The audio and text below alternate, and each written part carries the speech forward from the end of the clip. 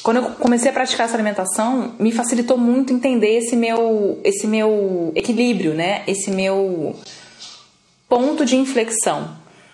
Eu adoro comer. Então eu vou fazer pratos e pratos de arroz e feijão e ficar feliz e comer com banana e tudo mais. Mas existe um limite que o meu corpo aguenta.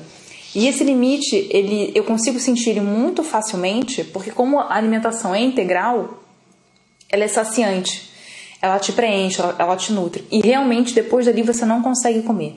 Então eu não consigo comer um prato, uma montanha de comida super nutritiva em demasia, né? Além da minha conta. Então quando eu chego naquela conta é muito claro para mim. E eu já tive, né? Eu, eu tenho um histórico de compulsão alimentar. Eu era capaz de comer uma loja de conveniência se fosse necessário na época. E esse, esse limite nunca chegou com produtos processados, esse, esse limite nunca chegou com alimentos que são industrializados, refinados.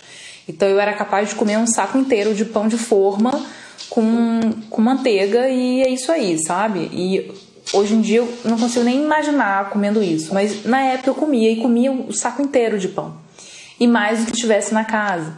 Então você não consegue fazer o mesmo com um prato de arroz e feijão. Você não consegue comer três pratos de arroz e feijão. Então, praticar uma alimentação integral, uma alimentação natural, ajuda a gente a entender esse nosso equilíbrio. Esse nosso autoconhecimento é muito facilitado quando você pratica uma alimentação que não é tóxica para o seu corpo.